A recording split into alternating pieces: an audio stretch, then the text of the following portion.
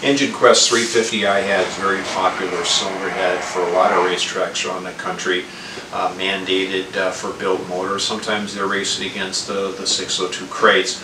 What I want to do is explain the difference in the actual castings. So when either you send your heads into us or you purchase heads from us or maybe from somebody else, you get the correct casting.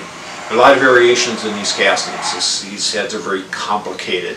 Uh, the actual casting is the same, but the machining is different.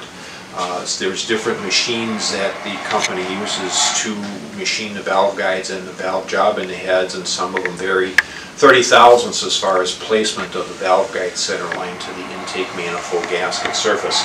Uh, this particular head here is one of the D series cylinder heads. Uh, they also have a um, a B period, a B series head and a P series cylinder head. And this particular head here has no letter designation, just numbers.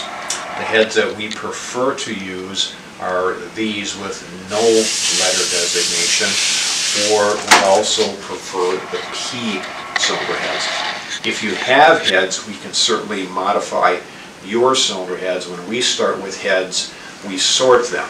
Uh, we sort them for 194 valves and 202 valves.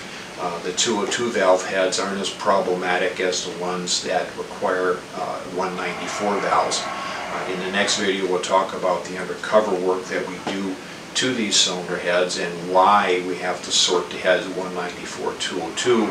It's basically because of the valve job integrity on the 194s doesn't come out very good uh, unless you put valve seat inserts in the majority of them. Now, all these concerns aren't really an issue if you don't have a CNC machine and you don't have programs that rely on a consistent casting to do some of your rough and finish porting. Also doesn't matter if you don't have a flow bench. If you don't do a lot of research and development work on the cylinder heads, you would know that the bowl cut is very, very important on the intake side. Uh, so if that's the case, just pick up a set of heads or get a set of heads from a warehouse and go racing. Um, although the little things make a big difference, we'll show in the next video how big a difference it can make on the intake, uh, seat intake side as far as airflow uh, performance.